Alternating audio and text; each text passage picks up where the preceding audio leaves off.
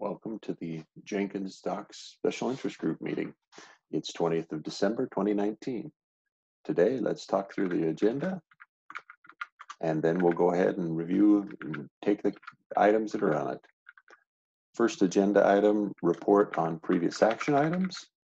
Uh, second agenda item will be a progress report, report on documentation status, how we're doing, how things have evolved since we just completed Jenkins World. We've also got a proposal for a Jenkins developer meetup next month in January that we'll briefly discuss, and then we'll review data on contributors.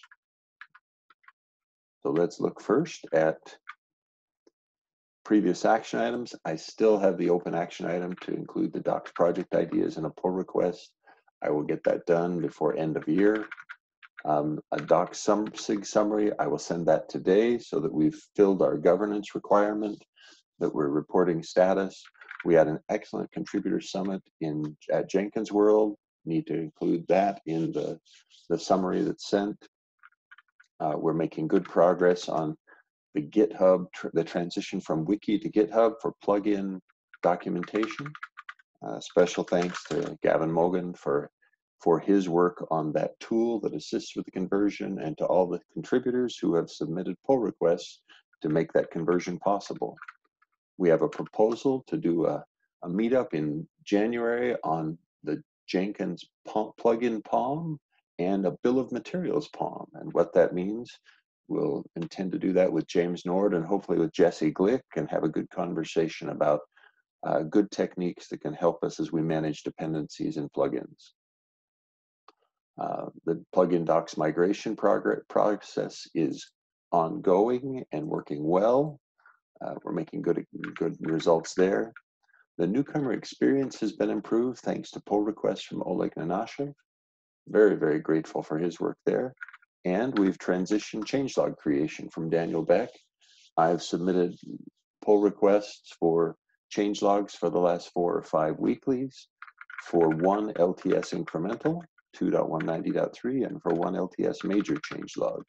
That also included an LTS upgrade guide made some mistakes while I was doing that, and those mistakes we'll correct the next time we do it. Uh, Jenkins developer meetups mentioned that we're going to have a session in January on POM and BOM, and then let's look at the latest data.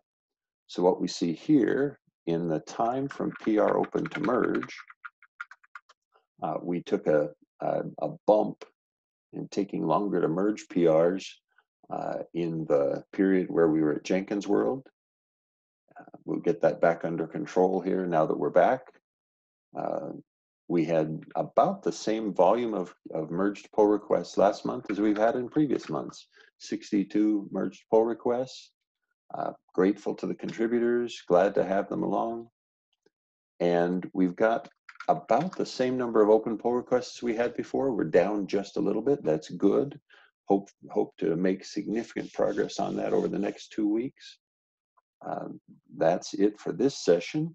The next meeting will not be December, not be the 3rd of January. It will rather be the 17th of January because I will be out the 3rd of January enjoying some holiday time. Thanks. That's Mark Waite. It's the Jenkins Docs Special Interest Group.